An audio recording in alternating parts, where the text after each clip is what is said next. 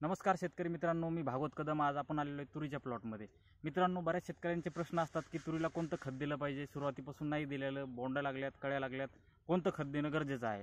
तर मित्रांनो बोंड्या लागल्यानंतर आपण जर बाकीचे खतं देतो म्हणले तर तुरीला एक चाळीस पंचेचाळीस दिवसानंतर ते लागू होतात आणि ते डायरेक्ट शेंगात लागतात. त्याच्यामुळे तुरीला फुलात जास्त गरज असते आणि शेंगातही गरज असते. त्यामुळे लवकरात लवकर खत लागू होईल असं खत देणं गरजेचं असते.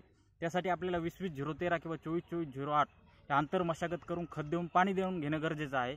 ज्यावेळेस तुरीला कळ्या लागतात त्यावेळेस तुरीला पाणी देणं खूप गरजेचं आहे. फुलात पाणी तुरीला बिलकुल द्यायचं नाही कारण की फुलात पाणी दिल्यास गळ तुरीचे फुल गळ होते. आणि शे डायरेक्ट शेंगात पाणी द्यायचं. एक कळी लागल्यावर पाणी द्यायचं फुलात पाणी द्यायचं नाही आणि डायरेक्ट शेंगा लागल्यावर पाणी द्यायचं. आणि दुसरी महत्त्वाची गोष्ट म्हणजे बोंड्या लागल्यानंतर फवारणी घेणं अत्यंत महत्त्वाचं आहे.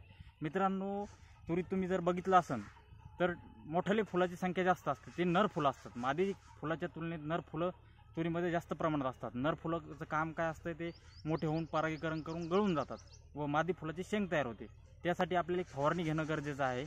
जास्तीत जास्त मादी फुलाची संख्या वाढण्यासाठी. त्याआधी सरस सगळ्यात आधी क्लोरोपॉरिफॉस प्लस सायपरमिथ्रेन किंवा इमामॅक्टिन किंवा प्रोफेनफॉस प्लस सायपर या दोन्हीपैकी तुम्ही कोणतंही एक कीटकनाशक घेऊ शकता.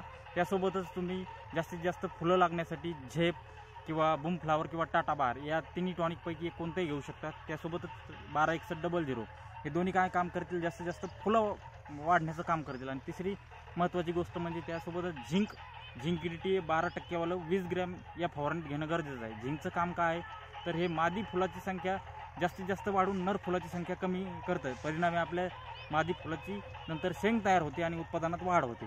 ही जर फवारणी तुम्ही घेतली निश्चितच तुम्हाला फायदा होईल. धन्यवाद.